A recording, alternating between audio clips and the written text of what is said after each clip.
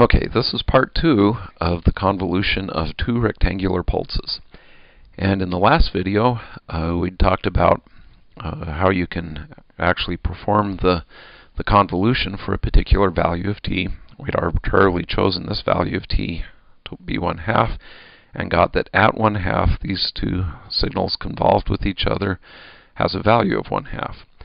So let's see if we can be a little more general now and start to look at how this works and uh, where you're going to, uh, or what different values of t you're going to want to look at. So we'll redraw x of tau, again, because we have a dummy variable of integration tau. It looks like this. So it goes out to 1 at a height of 1.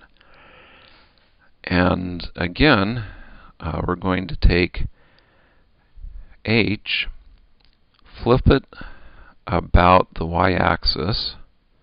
So this will give us h of minus tau. So that goes from 1 out to minus 3. And then we're going to shift it by a value of t. And so the first, the first value of t that we're going to try is suppose we have t be negative so that um, we get a picture that looks something like this. We're going to take our h that's been flipped and now we're going to shift it by some negative t so that we've got this value of t here and again this t is negative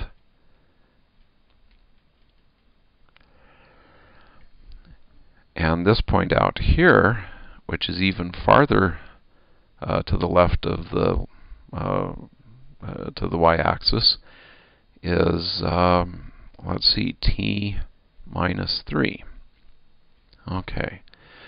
So the reason I've chosen to have a negative t is my x of tau here is non-zero between 0 and 1. And with a negative t, my h, flipped and shifted, is actually shifted so far to the left that the non-zero parts of h and x don't even overlap. So basically, whenever the shift, shifted and flipped h is 0, or is non-zero. x is 0, so out here. And whenever x is non-zero, the shifted or the flipped and shifted h is non-zero. So you get the product being 0 everywhere. Okay? And if I have a function that's 0 everywhere and I integrate it, then um, that integral is going to be 0. So what we've learned then is that if t is less than 0, the integral, which again represents the convolution, is also equal to 0. Okay, so that's um, that's a useful result. We've actually knocked off half the real line by looking at the case where t is negative. Okay, so um, we'll try to erase just some of this. Uh, we'll just erase it all.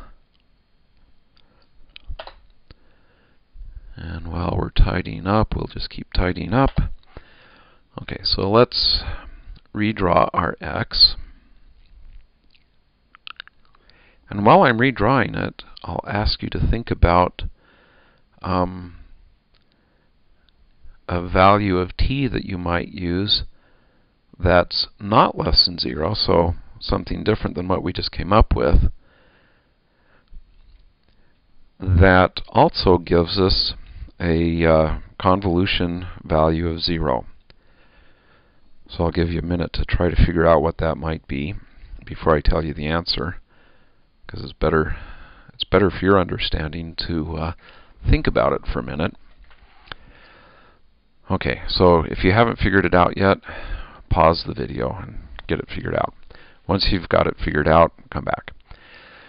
Okay, so if we know that when the flipped and shifted uh, version of h does the non-zero part of that doesn't overlap uh, x, everything's zero. So that says that why don't we look at something like this, where we take our flipped and shifted h and now this is the part that gets a little tricky. You've got to be careful on this to make sure you get it labeled correctly. This point here is t because again we've taken the the point where the flipped version is 0 and we've shifted that to t. So basically on this waveform we have something that looks like this. Or, or these two points correspond to each other. So if this point here is t, that means this point here is going to be t minus 3. Okay. And so, given the picture we have here, obviously, hopefully it's obvious, if I take um, x of tau, where it's non-zero, that's between 0 and 1, and uh, if I look at the flipped and shifted h of tau, where it's non-zero, that's between t minus 3 and t. And if I choose t to be big enough so that these guys don't overlap, so so the, the zero part or the non-zero parts of h and x don't overlap, then the product of these two guys will be zero. So we'll draw this in the color we've been using for products. And the integral will be zero. So I've got another case here where x of t convolved with h of t is equal to 0. But now the question is, what values of t is this going to hold for? Well, clearly the answer depends on this edge of the flipped and shifted h and this edge of x. Okay, this edge is at t minus 3, this edge is at 1. So I'll have this result hold as long as t minus 3 is greater than 1. Okay, I want this t minus 3, this edge of my h, to be to the right of the right edge of my x. And so I can manipulate this and get t is greater than 4.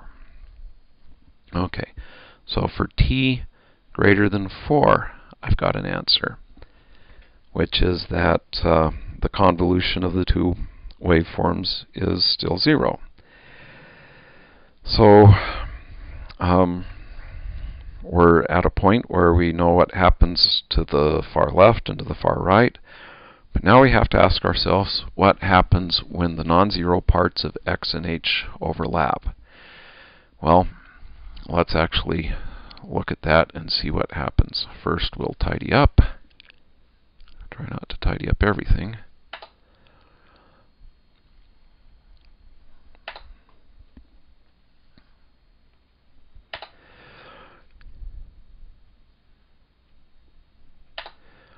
Okay, so let's redraw h or x.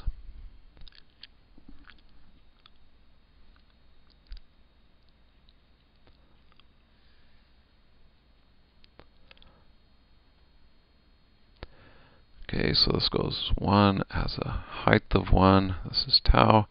This is x of tau. Okay. So now, why don't we well, let's we want uh, the non-zero parts to overlap.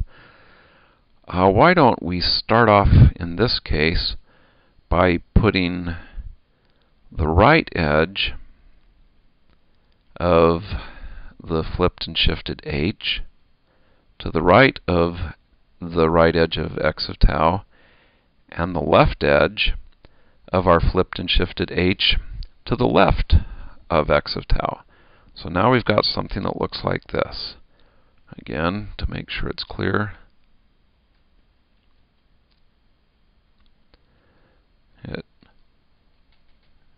we've gone like this, and this point here is t, and this point here is t minus 3. Okay, and we'll come back to that in just a minute. But first, we need to look at where this product is non-zero. Well, it turns out that everywhere that x of tau is 0, the product will be 0. So that takes care of everywhere between 0 and 1. Between 0 and 1, the product of x of tau and our flipped and shifted h is going to be 1. So I need to find then the area under this rectangle has a base of width 1 and a height of 1. So the area of this rectangle is always going to have, or is always going to be 1. Okay, so we can say, whoops, in the color that we're collecting results with, x of t convolved with h of t is equal to 1 for some values of tau. And I'm sort of running out of time here, so I'll stop this video and start another one where the mystery of what values of uh, uh, t that holds for will be solved.